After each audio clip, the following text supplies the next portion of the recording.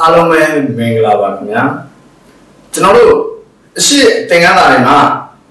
အာရှတိုက်ရဲ့တဘာဝအခြေခံအပိုင်းကြီးတွေလေ့လာခဲ့ပြီးသွားပြီအဒါကသင်ခန်းစာ1.2တက်တက်မှန်တယ်ဟုတ်ပြီနော်ကျွန်တော်တို့အခုဆက်သွားမှာကဘာအကြောင်းတွေလဲဟုတ်ပြီ1.3အာရှတိုက်ရဲ့ရေစင်ရေစင်နော်အာရှတိုက်ရဲ့ရေစင်ဘယ်လိုဟာမျိုးလဲဆိုတာအာရှတိုက်ရေစင်ဆိုတာဘာလဲရေစင်ဆိုတာဘာလဲ အဲ့ဒီအကြောင်းတွေကိုဆရာနဲ့တူတူလေ့လာမယ်သင်ယူမယ်ဟုတ်ပြီနော်ဆရာတို့အာရှတိုက်ရဲ့ရေစင်ရေစင်းဆိုတာဘယ်လိုရှိလဲရေရှိလို့ဖြစ်တာရေရှိတယ်ရေစင်းရှိတယ်ဆိုတာဒီတနည်းအားဖြင့်ပြောရရင်စီးဝင်စရာမြစ်ရှိတဲ့လူဒီရှိတဲ့မြစ်ဒီသမုဒ္ဒရာတွေကိုစီးဝင်လို့ရတဲ့မြစ်တွေဒီရေစင်းမရှိဘူး အဲ့ဒီကုန်းမြစ်တွေဒီရေစင်းမရှိဘူးသမုဒ္ဒရာတွေကိုစီးဝင်စရာမရှိတဲ့ကုန်းနှင်းပိတ်ဒေသတွေကမြစ်တွေဟာရေစင်းတွေဖြစ်တယ်ဟုတ်နော်စီစဉ်စရာစီးဝင်စရာသမုဒ္ဒရာမရှိဘူးကုန်းနှမိတ်ထဲမှာဖြစ်နေတယ်ဆိုရင်ရေစင်းနေပြီလေဒါအခြေခံအချက်ဟုတ်ပြီနော်ဟုတ်ပြီအာရှတိုက်မှာရှိတဲ့မြစ်ကြီးတွေကပတ်ဝန်းကျင်မှာရှိတဲ့ပင်လယ်တွေသမုဒ္ဒရာတွေကဘာဖြစ်လဲဆိုရင်စီးဝင်တယ်တဲ့နော်ဆရာတို့အာရှတိုက်တွေမှာပင်လယ်မြစ်တွေက ပင်လယ်တွေအနည်းနားမှာရှိတဲ့ဝင်းရံတွေဆရာတို့အာရှတိုက်ကိုဝင်းရံနေတဲ့ပင်လယ်တွေသမုဒ္ဒရာတွေကဘာလို့လဲစီးဝင်တယ်ဟုတ်ပြီအာရှအလယ်ပိုင်းမြစ်အချို့မှာကုန်းငွေးရေစင်းနေတာဖြစ်တယ်ဟုတ်ပြီနော်မြောက်ပိုင်းကဘာလဲမြောက်ပိုင်းဒီမြေနဲ့ဒေတာမြေနဲ့ဒေတာသူ့ရဲ့မြောက်ဘက်မှာဘာရှိလဲသူ့ရဲ့အပေါ်မှာရှိလဲအာတိတ်သမုဒ္ဒရာရှိတယ်သမုဒ္ဒရာလည်းမနီးဘူးလားနီးတယ်နော်ဟုတ်ပြီနော်မတော်နော်သမုဒ္ဒရာလည်းနီးတယ်ဟုတ်ပြီအရှိမ ဆိုတော့အရှိမမှာဘာရှိလဲဆိုပစိဖိတ်သမုဒ္ဒရာရှိတယ်ပစိဖိတ်သမုဒ္ဒရာရှိတဲ့နေရာဒီပစိဖိတ်သမုဒ္ဒရာလည်းဆင်းမယ်ဆရာတို့ဒီဘက်ချမ်းမြေထဲနဲ့လည်းပင်လယ်နက်တို့အဲ့ဒီဘက်တွေမှာရှိတဲ့ကုန်းမြင့်ဒေသတွေဒီရေရဘယ်ကိုဆင်းမလဲဆိုတော့မြေထဲပင်ဥစ္စာပင်လယ်နက်တို့ပင်လယ်တွေအဲ့ဒီကိုဆင်းမယ်တောက်ဆိုင်ပင်နေရကြတယ်အလေပိုင်းနေရကြတယ်အလေပိုင်းနေရာဒီတန်လူတွန်းခေါတောင်တန်းတွေဖြစ်တယ်ကြည့်လိုက်မယ်တန်လူတွန်းခေါ တောင်တန်းတွေဟုတ်ပြီနော်သဘောပေါက်မလားကြည့်လိုက်မယ်တောင်တန်းတွေတစ်ခုနဲ့တစ်ခုနဲ့တစ်ခုနဲ့တစ်ခုနဲ့တစ်ခုနဲ့ကြားထဲမှာဘာလဲအနိမ့်ဒေသနဲ့ဖြစ်နေတယ်သူ့ကိုပတ်သက်လဲဝင်းဝိုင်းလာတာဒီတောင်ဘက်မှာဆိုရင်ကုန်းမြင့်ဟုတ်ပြီနော်မြောက်ဘက်မှာဆိုရင်မြေနေဟုတ်တယ်နော်မျက်စိနဲ့မြင်မယ်နော်ဟုတ်ပြီအဲ့ဒါဆိုရင်ဒီဒေသမှာရှိတဲ့မြစ်တွေဒီအာဘေသမုဒ္ဒရာလည်းမနီးဘူးပစိဖိတ်သမုဒ္ဒရာလည်းမနီးဘူး ဒီဘက်ကပင်လယ်နက်တို့ပင်လယ်တို့လည်းမနီးဘူးဟုတ်ပြီဒါဆိုရင်သူ့မှာကုန်းတွင်ရေစင်းဒေတာဖြစ်ကိုဖြစ်ရတယ်ဖြစ်လဲဖြစ်တယ်ဟုတ်ပြီနော်ဘာလဲလဲပင်လယ်ထဲသို့စီးဝင်ခြင်းမရှိပါဘူးတဲ့တမလဲအလေပိုင်းမှာကဲဆရာတို့ဆက်ပြီးလေ့လာလိုက်မယ်အာရှတဲ့ရဲ့ရေစင်းဒေတာကြီးဘယ်လိုရှိလဲ၄ခု ရေစင်းဒေတာကြီး၄ခုပထမတစ်ခုကြည့်လိုက်အောင်အာတိတ်သမုဒ္ဒရာအာတိတ်သမုဒ္ဒရာ the arctic ocean ရေစင်းဒေတာအာတိတ်သမုဒ္ဒရာရေစင်းဒေတာအာတိတ်သမုဒ္ဒရာရေစင်းဒေတာကြီးဘာမှရှိလဲအာတိတ်သမုဒ္ဒရာကြီးမြောက်ပိုင်းမှာရှိတော့မြောက်ပိုင်းအလယ်ပိုင်းတောင်တန်းဆို the central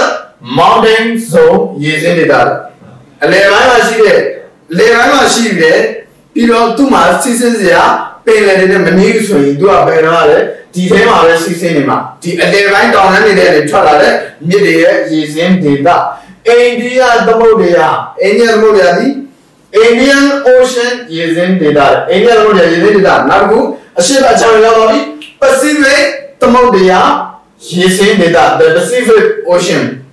ဟုတ်ပြီနော်ရေစင်းဒေတာဘယ်လိုရှိလဲပထမတစ်ခုကမြောက်အာတိတ်သမုဒ္ဒရာရေစင်းဒေတာနောက်တစ်ခုကအလယ်ပိုင်းတောင်တန်းဆုံးရေစင်းဒေတာနောက်တစ်ခုကအိန္ဒိယသမုဒ္ဒရာရေစင်းဒေတာနောက်တစ်ခုက Pacific သမုဒ္ဒရာရေစင်းဒေတာဘယ်လိုရှိလဲရေစင်းဒေတာကြီးအာရှတိုင်းမှာ၄ခုရှိတယ်ရေစင်းဒေတာကဟုတ်ပြီအာရှတိုင်းမှာဆိုရင်မြစ်တွေကပေါင်ရင်းတွေမှာရှိတဲ့ပင်လယ်တွေသမုဒ္ဒရာတွေစီးဝင်တယ်ဟုတ်ပြီနော်ဆရာတော်နော်စီးဝင်ခြင်းမရှိတဲ့နေရာတွေလည်းရှိတယ်အဲ့ဒီနေရာတွေကဘာဖြစ်လဲ ရေစင်းဒေတာတွေဖြစ်တယ်ပင်လယ်ထဲဆိုမစည်းဝင်တဲ့နေရာဒေသတွေမှာမြစ်တွေကရေစင်းဒေတာတွေဖြစ်တယ်သဘောပေါက်ပြီနော်ဟုတ်ပြီအာတိတ်သမုဒ္ဒရာအကြောင်းဆရာတို့သွားလိုက်အောင်အာတိတ်သမုဒ္ဒရာ the Arctic Ocean ရေစင်းဒေတာပထမဆုံးသူ့ရဲ့ရေစင်း data ကဘယ်လိုဖွဲ့စည်းထားတာလဲဘယ်လိုဖြစ်လာတာလဲအဲ့တော့ဆရာတို့ဒီလိုပဲရေစင်း data ဖွဲ့စည်းပုံကြည့်မယ်ရေစင်း data ဖွဲ့စည်းပုံဘာလဲလဲအာရှတိုက်မြောက်ပိုင်းမှာရှိတဲ့တိုတောင်းနဲ့မြစ်တယ် နော်အာရှတိုက်မြောက်ပိုင်းမှာရှိတဲ့တိုတောင်းနဲ့မြစ်တွေစိုက်ဘေးရီးယားတွင်မြင်ပေါ်မှာရှိတဲ့ရှည်လျားတဲ့မြစ်တွေနဲ့မြစ်ဝမ်းတွင်မြင်များတယ်နော်သူ့ရေစင်း data ဘယ်နေရာလဲဆိုရင်မြောက်ပိုင်းမှာရှိတဲ့တိုတောင်းနဲ့မြစ်တွေစိုက်ဘေးရီးယားတွင်မြင်ကြီးပေါ်ရှိရှည်လျားတဲ့မြစ်တွေနဲ့မြစ်ဝမ်းတွင်မြင်တွေကြားမှာဖြစ်တယ်ဟုတ်ပြီအာတိတ်သမုဒ္ဒရာရှိတာပဲပဲလေဆရာတို့အာရှတိုင်းအာတိတ်သမုဒ္ဒရာရှိတာမြောက်ပိုင်းမြောက်ပိုင်းဒီမြေလေးတွေကဟုတ်ပြီ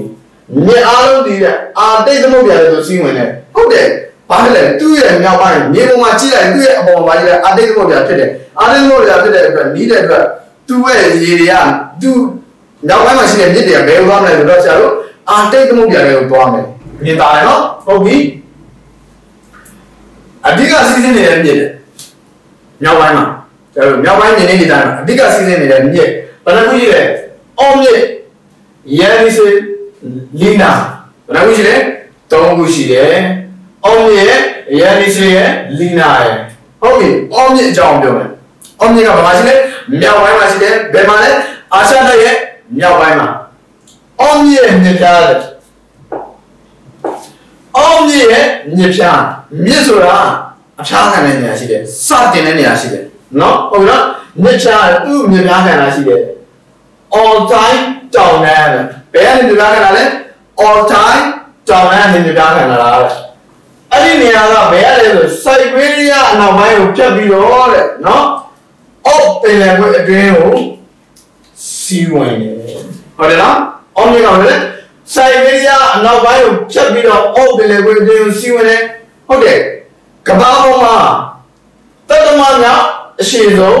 မြစ်ဖြစ်တယ်အော်မီဂါနော်ဘယ်လောက်ရှိလဲဆို3650 ကီလိုမီတာကီလိုမီတာမီတာဒီ3.3ကီလိုမီတာဒီ1မီတာကိုဘယ်လောက်နဲ့မြောက်တာလဲဆိုတော့10ပါဝါ3နဲ့မြောက်တာတဲ့အတိုင်းတာပြောရရင်မီတာ1000 1ကီလိုမီတာဒီမီတာ1000ရှိတယ်လို့ဆိုလို့ခြင်းဖြစ်တယ်ဟုတ်ကဲ့နော်ဘောပါနော်ကဲတတ္တမမြောက်အရှိဆုံးမြေကဘာပေါ်မှာဒါဆိုနံပါတ်1ကအောင်နံပါတ်1မြေကိုသိဖို့မလိုဘူးလားနံပါတ်1မြေက9မြေဟုတ်ပြီနော်ဘယ်နိုင်ငံမှာရှိလဲအီဂျစ်မှာရှိတယ် ဟုတ်ပြီနော်အကြီးဆုံးမြစ်လက်တက်မှာလဲ artist မြစ်ဖြစ်တယ်အကြီးဆုံးမြစ်လက်တက်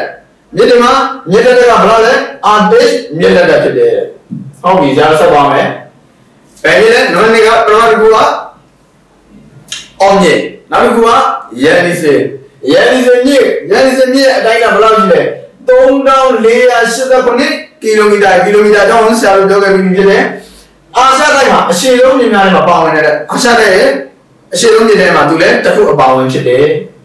သူ့ရဲ့မြေသားကဏ္ဍဗမာကဏ္ဍလည်းမွန်ဂိုလီးယားနော်မွန်ဂိုလီးယားမှာမြေပြားတယ်လေသူကဘယ်ကိုရောက်လာတယ်လဲနော်ဘယ်လိုရောက်လာတယ်လဲဆိုတော့ရုရှားအလယ်ပိုင်းကိုဖျက်ဆီးတယ်ရုရှားသည်ဥရောပနိုင်ငံတနိုင်ငံအဖွဲ့ဝင်ဖြစ်တယ်ဒါပေမဲ့အာရှတိုင်းမှာသူ့ရဲ့အကြီးမားအစိမ်းပိုင်းပါဝင်နေတော့ရုရှားအလယ်ပိုင်းကိုဖျက်ဆီးတယ် ကာပယ်ရနေပြီးတော့ဘယ်လဲအာတိတ်သမုဒ္ဒရာရဲ့စီးဝင်တယ်ဟုတ်တယ်နော်ရုရှားရဲ့အလယ်ပိုင်းကိုဖျက်တယ်ဖျက်ပြီးတော့ကာရာပင်လယ်တွေကိုရောက်တယ်အဲ့ဒီပင်လယ်တွေကနေဆရာတို့ဟိုးကမြောက်ဘက်ကိုတက်သွားတဲ့အခါမှာဘာဖြစ်လဲအာတိတ်သမုဒ္ဒရာရှိတယ်အာတိတ်သမုဒ္ဒရာကိုစီးဝင်တယ်သဘောပေါက်မလားလီနာမြစ်နံပါတ်3ဘာမြစ်လဲလီနာမြစ်4492ကီလိုမီတာနော် လေတော့နော်စိုက်ဗီးရီးယားအလယ်တောင်ဘက်မှာရှိရဲ့တဲ့စိုက်ဗီးရီးယားအလယ်အလယ်ရဲ့အလယ်အလယ်ရဲ့တောင်ဘက်မှာရှိတဲ့ဘိုင်ကယ်တောင်နဲ့မြစ်တာကနေသူ့ရဲ့ဖွဲ့စည်းပုံကဘယ်မှာလဲဘိုင်ကယ်တောင်ဘက်မှာမြစ်တာကနေရုရှားမြောက်ပိုင်းမှာတည်ရှိတယ်သူအောင်ဘယ်လိုဆင်းမှာလဲဆရာတို့မြောက်ပိုင်းဖြစ်တဲ့သူကလည်းဘယ်လိုဆင်းလဲအာတိတ်သမုဒ္ဒရာကိုဆင်းမှာပဲเนาะမြောက်ပိုင်းကိုမြောက်ပိုင်းဆိုတော့လေဟိုဘက်ကိုဆင်းမှာပဲ အာရှတိုက်မှာတဲ့တတိယနဲ့အရှိဆုံးနေဖြစ်တယ်နော်သူ့ရဲ့အတိုင်းအတာ၄000ကျော်နေပြီနော်၄000ကျော်နေတဲ့အတွက်သူကစောစောအမြင့်နေတဲ့တိုင်းရှိတယ်နော်အာဘိတ်သမုဒ္ဒရာတွေကိုဘာဖြစ်လဲစီးဝင်တယ်တဲ့ဟုတ်ပြီနော်နားလည်နော်ဇာရောကြည့်လိုက်အောင်ဒီမှာဆိုရင်ဆရာတို့မြောက်ပိုင်း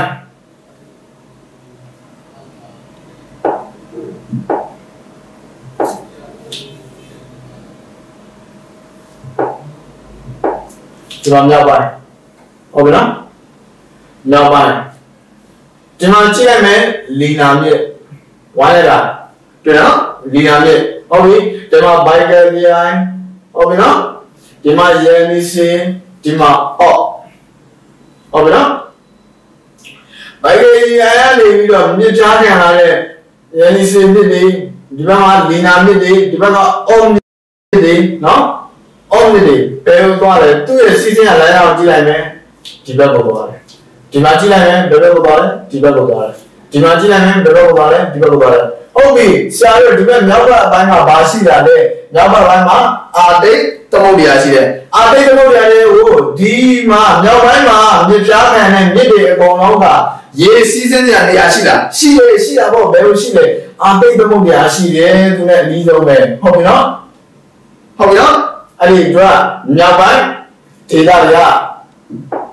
အာတိတ်သမုဒ္ဒရာတွေကိုစီးဝင်တယ်ဆိုဆရာတို့တင်ရမယ်လေ့လာသဘောပေါက်သဘောပေါက်နော်ဟုတ်ပြီနံပါတ်1ရေစင်းဒေသ2အလဲပိုင်းတောင်တန်းစုံအလဲပိုင်းကဘာလဲများလဲတန်လူတုံးပေါ်တောင်တန်းတွေများတယ်အတန်လူတုံးပေါ်တောင်တန်းတွေကဘာလဲလဲဆိုရင်အဲ့ဒီတဲမှာရှိတဲ့အတန်နုတယ်တောင်တန်းတွေတွန်းပေါက်နေတယ်အဲ့ဒီဒေသတွေကြားထဲမှာရေတွေစီးဆင်းမှုဖြစ်တယ် ဘာလို့လဲရေဒီမြင်ရမေးဘယ်ဆင်းလဲနေရအောင်ဆင်းတယ်တောင်တန်းတွေတခုနဲ့တခုကြားထဲမှာရေစင်းဒေသတွေဖြစ်တယ်ဟုတ်ပြီကဲရေစင်းဒေသလို့ရေစင်းဒေသပေါ်ပြီးတော့ကျွန်တော်တို့ကြည့်မယ်လေ့လာမယ်အာတိတ်သမုဒ္ဒရာရေစင်းဒေသရဲ့တောင်ဘက်မှာရှိတယ်ဒီနေရာလေးကစာနဲ့ဖတ်လိုက်လို့ရှိရင်ဖတ်တာပဲလက်စီထဲမှာမြင်လို့ကြတော့ဓမ္မကြည့်ဒါမြောက်ဘက် မြောက်ဘက်နဲ့ဆက်ကဘာလဲဘာလဲတောင်ဘက်ဟုတ်ကဲ့နော်ဟုတ်ပြီအာတိတ်သမုဒ္ဒရာရေစင်းဒေသဆိုတာစောစောကမြောက်ပိုင်းကိုပြောတယ်နော်ဟုတ်တယ်နော်အတိတ်သမုဒ္ဒရာနဲ့ရှင်းမလားဗျာလေမြောက်ပိုင်းကဓမ္မတန်မြောက်ပိုင်းဓမ္မဝါဒဝမ်းနဲ့ဓမ္မနော်မြောက်ပိုင်းကဘာလဲမြောက်ပိုင်းကနီးလုံးနေရှိတာကနော်အာတိတ်သမုဒ္ဒရာဒီရှိတယ်အာတိတ်သမုဒ္ဒရာရဲ့စီးစင်းတဲ့ရေစင်းဒေသနဲ့တောင်ဘက်မှာရှိတယ်တော့ ဒီနေရာနဲ့စောစောပြောခဲ့တဲ့မြောက်ပိုင်းနဲ့ဆက်နေမဲ့ဒီနေရာမှာတည်ရှိတယ်လို့ဆိုလို့ရတယ်စာနဲ့တိုင်တော့လွယ်လွယ်လိုပဲမျက်စိနဲ့မြင်ဖို့ကြတော့ခက်တယ်ဟုတ်ပြီနော်မျက်စိနဲ့ဒါမြင်မယ်နော်ဟုတ်ပြီအနောက်ဘက်မှာရှိတဲ့အနာတိုလီးယားကနေပြီးတော့အရှေ့ဘက်မန်ချူရီးယားအထိဘာဖြစ်လဲကျယ်ဝန်းနေတယ်ဒီရေစင်းဒေသကဘာလဲအနာတိုလီးယားကနေပြီးတော့မန်ချူရီးယားအထိကျယ်ဝန်းနေဟုတ်ကဲ့တော့ဘာလို့ဆိုတော့လဲအနောက် မြောက်ဘက်မှာလည်းရှိတယ်တဲ့အနောက်မြောက်ပိုင်းမှာလည်းကုန်းတွင်းရေစင်းဖြစ်တယ်ကုန်းတွင်းမှာနော်ကုန်းတွင်းမှာဘာလို့ဖြစ်တာလဲသူကစီးစင်းစရာသမုဒ္ဒရာတွေပင်လေနဲ့ဝေးလို့ဟုတ်ကဲ့နော်ကက်စပီယန်ပင်လေကြောက်တယ်နော်ကက်စပီယန်ပင်လေအေးပင်လေတွေရှိတယ်တဲ့နော်ဟုတ်တယ်နောက်ဘာလို့ရှုံးလဲဘောကတ်ရေရှိမယ်ဆာရာမြစ်ရှိမယ်2212ကီလိုမီတာရှိမယ်နော် ဥဇဘက်ကစ္စတန်မှာတဲ့နာယာမြစ်နဲ့ကာယာမြစ်တို့ပေါင်းစုံပြီးဖြစ်ပေါ်လာတယ်နော်ဒီကုန်းမင်းမိတ်ဒေသထဲမှာကုန်းမင်းတောင်ရန်နေဝင်ရတယ်တက်တော့တော့အလဲပိုင်းဒေသထဲမှာဒီမှာဘောဂရီယန်ရှိမယ်ဆာရာမြစ်ရှိမယ်ဥဇဘက်ကစ္စတန်မှာရှိတဲ့နာယာမြစ်တို့ကာယာမြစ်တို့ပေါင်းစုံပြီးတော့ဘာဖြစ်လာလဲအဲ့ဒီရေစင်းဒေသတွေကလက်တက်တွေဖြာပြီးတော့အဲ့လိုမျိုးဖြစ်ပေါ်လာတယ်နော်အေးရပင်လေအတွင်းကိုစီးဝင်နေတဲ့ အေးလည်းပင်လေဟုတ်ပြီကုန်းလင်းဘိတ်ကနေပြီးထွက်လာပြီးရေကအမျက်စိနေတာဖြစ်တဲ့ကုန်းလင်းကုန်းလင်းဘိတ်ကနေပြီးဘယ်တော့မှသူနဲ့ဝေးတဲ့အေးလည်းပင်လေတဲ့ကိုစီးဝင်တယ်ရေစီးတဲ့လမ်းကြောင်းဒီရေစင်းနေတာဖြစ်တယ်ဟုတ်တယ်နော်စပါမဲဆရာတို့ဟုတ်ပြီပုံလေးကြည့်လိုက်အောင်ပုံလေးကြည့်လိုက်အောင်ဆရာတို့အခုဘယ်ကြောင်းကြရလဲ အလယ်ပိုင်းရဲ့အကြောင်းကိုပြောနေတာအလယ်ပိုင်းရဲ့ရေဆေးဒေတာတွေအကြောင်းကိုပြောနေတာအလယ်ပိုင်းရေဆေးဒေတာတွေကဲဒီမှာကြည့်ပါအောင်အလယ်ပိုင်းမှာဘာတွေရှိလဲအလယ်ပိုင်းမှာတောင်တန်းတွေရှိတယ်အေးပင်လေကိုကြည့်လိုက်ပါအေးပင်လေဒီမှာဟုတ်ပြီနော်အေးပင်လေမြင်ပြီနော်အေးပင်လေဒီမှာရှိတဲ့မြစ်တွေကဘဘယ်လိုပဲစီးတယ်လေဆိုရင်ဘောဂရန်ဆရာမြစ်တို့ဘာလို့ကနေစပြီးတော့ဘယ်လိုသွားမလဲ အေးပင်လေတွေကိုပဲသွားမယ်သို့တော့လို့သမုဒ္ဒရာအထိရောက်တာမရောက်ပါဘူးသမုဒ္ဒရာအထိရောက်တာတော့မရောက်ဘူးဟုတ်ကဲ့နော်ယူရတဲ့ကျတော့ယူရတဲ့2428ကီလိုမီတာရှိတယ်တဲ့ယူရတဲ့တော့လားလေ2428ကီလိုမီတာရှိတယ်တဲ့သူကဘာလဲဆိုတော့ အာရှတိုက်နဲ့ဥရောပတိုက်ကြားနေနေဖြစ်တယ်နော်အာရှတိုက်နဲ့ဥရောပတိုက်ကြားနေနေဖြစ်တယ်ကျန်တော့အာရှတိုက်ရှိတယ်အာရှတိုက်ရဲ့ဒီဘက်မှာအနောက်ဘက်မှာအနောက်ဘက်ပေါ့အနောက်မြောက်ဘက်ပိုင်းမှာဘာရှိလဲပဲဥရောပတိုက်ရှိတယ်အဲ့ဥရောပတိုက်နဲ့အာရှတိုက်နှစ်ခုကိုခြားလာတာဒီယူရအမြစ်တယ်ဆရာတို့ဘုဒ္ဓရအနေနဲ့ပြောရမယ်ဆိုရင်ဆရာတို့ရဲ့ နေရာနိုင်ငံတစ်ခုနဲ့တစ်ခုခြားလာတဲ့နေရာတွေဒီနည်းနည်းချင်းဆွဲတဲ့နေရာတွေတော်တော်များများအဲ့လိုချောင်းရိုးလေးတွေမြစ်ရိုးလေးတွေ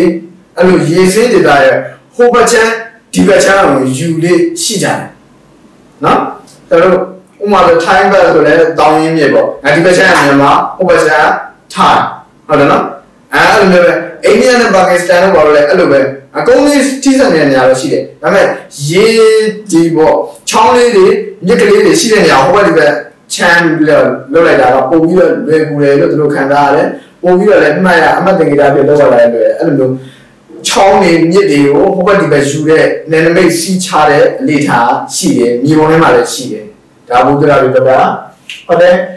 အာရှနိုင်ငံဥရောပနိုင်ငံကြားမှာရှိတဲ့နယ်နိမိတ်ဖြစ်တဲ့ရေအိုင်နေရာလေးပဲ ကုန်းတွင်းရေစင်းနေတာရဲ့အဓိက